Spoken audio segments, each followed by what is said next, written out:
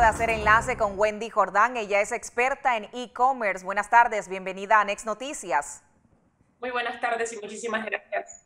Bueno, en medio de la pandemia por la COVID-19, muchas personas han optado por realizar compras en línea. ¿Cuáles es, son estas, o cuál es la seguridad que debe tener uno, o cuál es esta manera de prevenir también algún tipo de estafa a través de estas compras online? Bueno, la manera de prevenirlo no ha cambiado ni siquiera desde antes de la estafa o después es muy importante conocer con quién uno está tramitando antes de, hacer cualquier envío de dinero. Para nosotros en Encuentra 24 es muy importante que no envíen ningún monto de dinero antes de tener el producto ya en sus manos. Traten, si la persona no desea encontrarse cara a cara, muy probablemente no se debe hacer la transacción. Y sé que en estos momentos de COVID no queremos hacer este tipo de interacciones, pero debemos de encontrar una forma de que esto se pueda hacer con la mayor confiabilidad posible.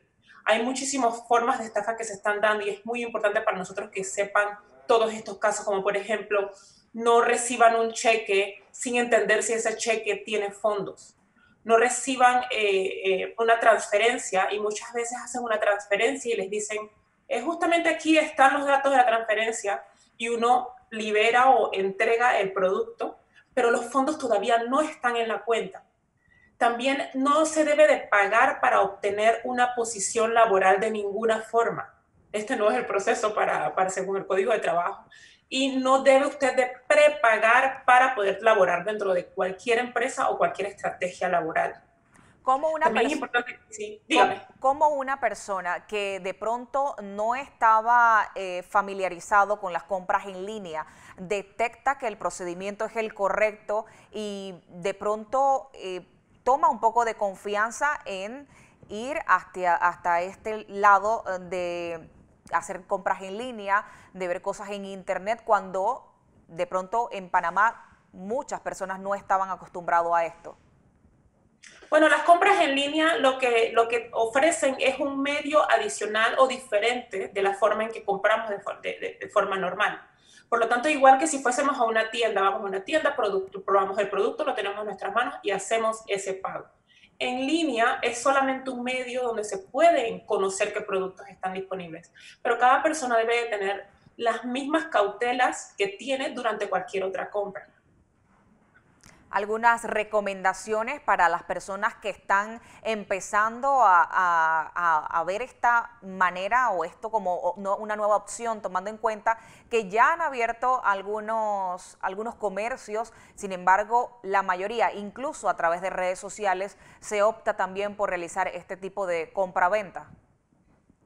Bueno, mi, primer consejo sería, bueno, que no se desalienten, porque esto es un buen método de encontrar productos en oferta, donde uno probablemente no tengamos los, recursos para, hacer un pago del 100% del costo de ese producto.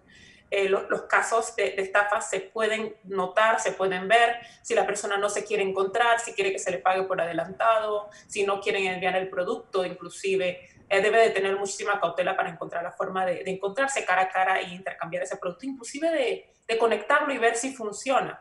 Y si se da el caso lamentable de que son víctimas de una estafa, denúncienlo, denúncienlo lo más pronto posible, inclusive si se están percatando de que una situación iba a ir en esa dirección, denúncialo, no solamente encuentra 24 para que nosotros podamos tomar acciones inmediatas, sino también denúncielos a las autoridades del país que tienen un, un departamento de, de cibercrímenes y pueden apoyarlos con ese proceso compras que se realizan no solo a nivel nacional, sino internacional. ¿Sería de la misma manera prestar e, esa misma atención? Algunos tips de repente, lo que uno pueda encontrar en compras que se hagan eh, a nivel internacional.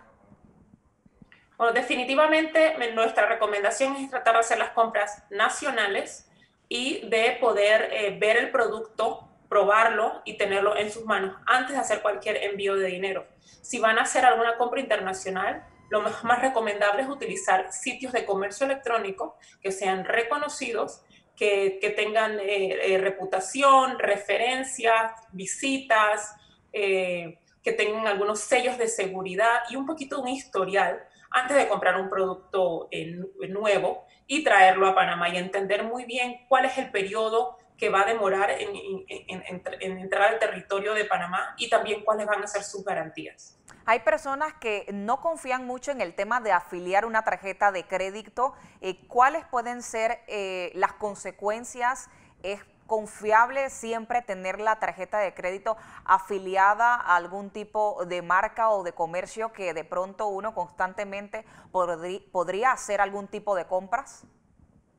Bueno, mi, recomendación puede ser eh, de empezar quizás con una, una, compra muy pequeña, otra vez ver la reputación y las referencias que pueda tener la, la, página web.